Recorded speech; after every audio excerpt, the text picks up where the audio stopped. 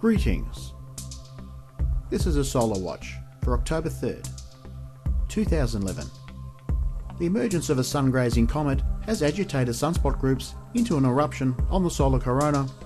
The result of this eruption has unleashed a significant coronal mass ejection headed Earth's way. We're now looking at a split screen of the stereo ahead and behind imagery where we get to see a significant amount of coronal mass ejections as released from the solar corona. Now this all occurred before and after the emergence of a sun diving or sun grazing comet. Now it's worth noting that the Earth would be roughly in the centre of the screen here. and That would indicate that one or two coronal mass ejections may impact the Earth's magnetic field sometime on October 4 or October 5. Now look at the latest telemetry from ACE and we get to see steady decline in solar wind speeds over the last 24 hours.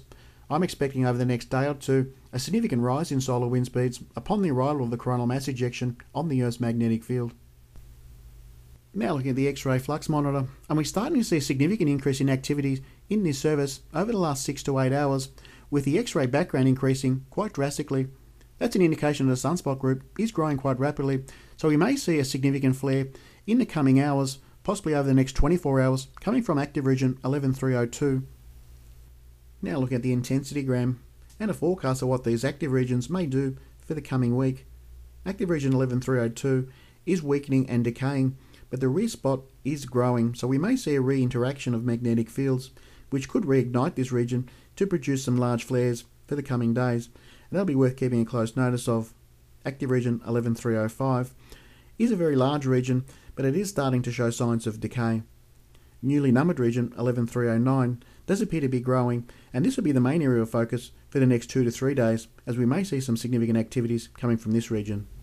We currently have seven numbered active regions on the solar disk at this present time, with three of these regions being of most importance, as they will be producing some flare activities for the coming week, and that's active region 11302, 11305, and newly numbered region 11309.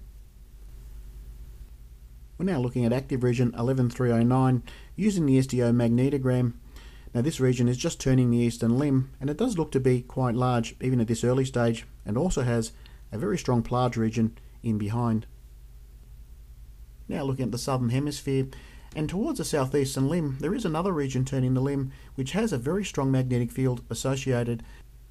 Now looking at Cactus, and we get to see an interesting view of the coronal mass ejection as released from the solar corona in a digital view.